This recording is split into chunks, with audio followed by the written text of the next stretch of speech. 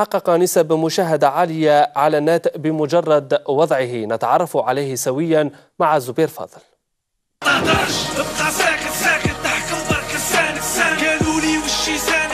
ما تهدرش. جديد لطفي دوبلكانو ومرشح الرئاسيات رشيد نكاز.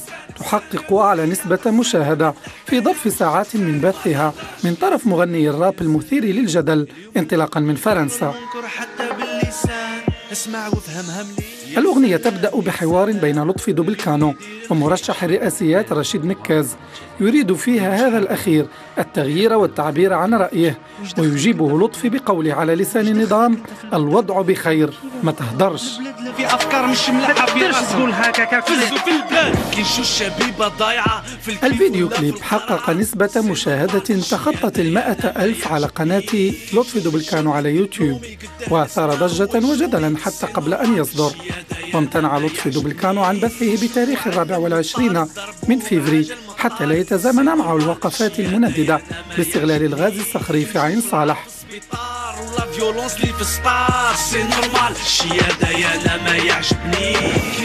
تعليقات رواد مواقع التواصل الاجتماعي بخصوص الأغنية كانت في أغلبها مؤيدة لما قاله لطفي بخصوص قمع حرية التعبير بفتح البطالة والفقر والسياسة النعامة واتهام البعض بإثارة الفتنة وصمت الحكام العرب تجاه القضية الفلسطينية. فيديو كليب أغنية ما تهدرش احتكم هذه المرة للتقنيات العالية في التصوير وحبكة القصة. وأعطى حيزا بارزا لمرشح الرئاسيات المثير للجدل أيضا.